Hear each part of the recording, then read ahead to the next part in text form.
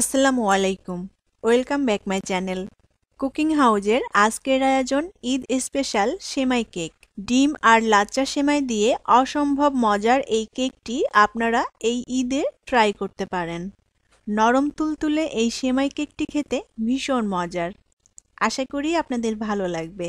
আর এই সেমাই কেকটি বানানোরও খুব একটা ঝামেলা নেই। তাহলে চলুন দেখে নেই কি কি লাগছে এই সেমাই কেকটি তৈরি করতে।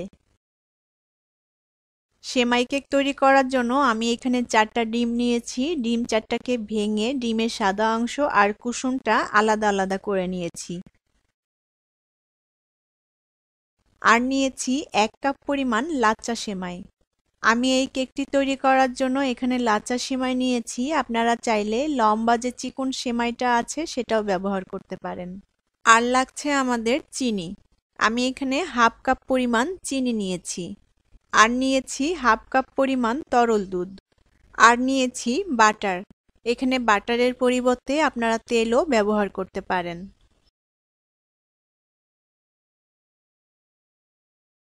এখন প্রথমে আমি ডিমের সাদা অংশটাকে ইলেকট্রিক বিটারের সাহায্যে বিট করে নিব। ইলেকট্রিক বিটার না থাকলে হ্যান্ড হ্যান্ডউইচ দিয়েও এই ডিমের ফোমটি তৈরি করে নিতে পারেন। সেক্ষেত্রে সময়টা একটু বেশি লাগতে পারে। মিডিয়াম স্পিডে আমি ডিমের সাদা অংশটাকে ভালো করে বিট করে একটা ফোম তৈরি করে নিব। ডিমে কিছুটা ফোম তৈরি হয়ে গেলে এখন যে চিনিটা আমি নিয়েছিলাম, এই চিনি থেকে অল্প করে চিনি দিয়ে চিনির সাথে ভালো করে আবারও বিট করে নিব। যারা এখনও আমার চ্যানেলটি সাবস্ক্রাইব করেননি, তারা অবশ্যই আমার চ্যানেলটি সাবস্ক্রাইব করে নেবেন। আর সাবস্ক্রাইব করে পাশে থাকা যে ছোট্ট বেল বাটনটি আছে, সেটিও ক্লিক করে দিবেন। এতে করে আমি যখনই কোনো ভিডিও আপলোড করব, সাথে সাথে আপনাদের কাছে নোটিফিকেশনটি পৌঁছে যাবে।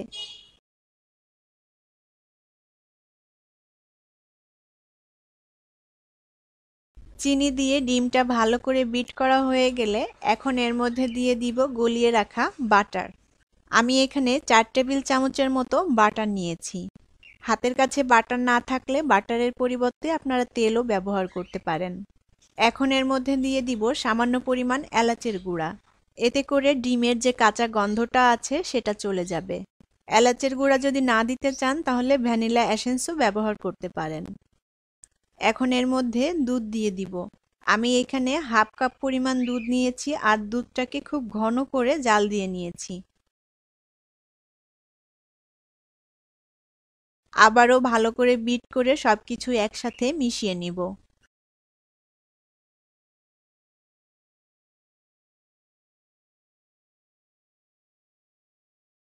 এবার এর মধ্যে যে ডিমের কুসুম চারটা আমি আলাদা করে রেখেছিলাম, এই কুসুম চারটা দিয়ে দিব। কুসুম দিয়ে ডিমের সাদা অংশের সাথে খুব ভালো করে বিট করে নিব। ডিমটা ভালো করে বিট করা হয়ে গিয়েছে। আর এই ডিমের মিশ্রণটা এরকম পাতলা টাইপের আর ক্রিমি হবে, একেবারে ফমি হবে না। এখন আমি ডিমের মিশ্রণের মধ্যে লাচ্চা সিমাইগুলো দিয়ে দিব। আমি এখানে লাচ্চা সিমাই ব্যবহার করেছি। আপনারা চাইলে এমনি নর্মাল সিমাইটাও ব্যবহার করতে পারেন। তবে লাচ্চা সিমাই দিলে এই কেকটি খেতে ভীষণ ভালো লাগবে। এখন ডিমের মিশ্রণের মধ্যে সিমাইগুলো দিয়ে একটা চামচ দিয়ে আলতো করে সিমাইগুলো মিশিয়ে দিব। সেমাইগুলো দিয়ে বেশ ভালোভাবে নেড়ে একটু মিশিয়ে দিতে হবে যাতে এক জায়গায় সেমাইগুলো দলা পেকে না থাকে। কেকটি তৈরি করার জন্য আমি এখানে একটা গোল্ড শেপের মোল্ড নিয়েছি। আপনারা আপনাদের পছন্দ মতো শেপ অনুযায়ী মোল্ড নিতে পারেন। এখন মোল্ডে সামান্য তেল ব্রাশ করে দিব। এতে করে কেকটা পরবর্তীতে উঠাতে সুবিধা হবে। কেকের মোল্ডে তেলটা ব্রাশ করে নিয়েছি। এবার কেকের মিশ্রণটা আমি মোল্ডের মধ্যে ঢেলে দিব। আমি এখানে চারটা ডিম আর এক কাপ লাচ্চা সিমাই দিয়ে এই কেকটা তৈরি করছি। আপনারা যদি বেশি করে তৈরি করতে চান, তাহলে ডিমের পরিমাণ আর সেমাইয়ের পরিমাণটা বাড়িয়ে নিতে হবে।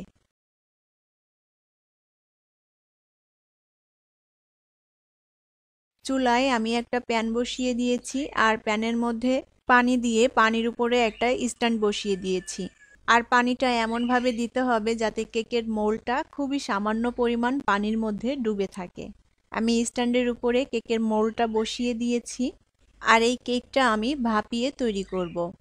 এখন ঢাকনা দিয়ে ঢেকে আমি মিডিয়াম টু লো এর মাঝামাঝি চুলোর আঁচটাকে রেখে কেকটাকে ভাপিয়ে নিব। আর ঢাকনাতে যে একটা ছিদ্র থাকে, এই ছিদ্রটা একটা টিস্যু অথবা কাগজ দিয়ে আটকে দিতে হবে।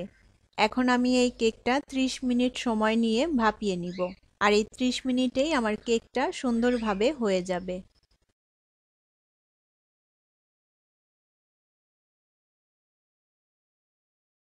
ত্রিশ মিনিট হয়ে গিয়েছে আর কেকটাও সুন্দরভাবে ভাপানো হয়ে গিয়েছে।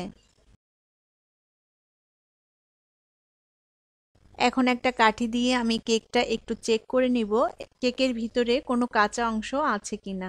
কাঠিটা ক্লিন বের হয়েছে, তার মানে কেকটা সুন্দরভাবে ভাপানো হয়ে গিয়েছে, এর ভিতরে কোনো কাঁচা অংশ নেই।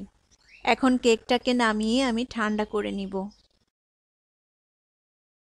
কেকটাকে আমি ভালো করে ঠান্ডা করে নিয়েছি। এখন আমি কেকটা মোল্ড থেকে বের করে নিব। কেকটাকে একটু সুন্দর দেখানোর জন্য আমি কেকটাকে একটু সাজুগুজু করিয়ে দিয়েছি। আপনারা আপনাদের পছন্দ মতো কেকটাকে সাজিয়ে নিতে পারেন। আমি কেকটা একটু কেটে দেখাচ্ছি, এর ভেতরটা কেমন হয়েছে। স্পেশাল দিন মানেই স্পেশাল কিছু খাবারের আয়োজন।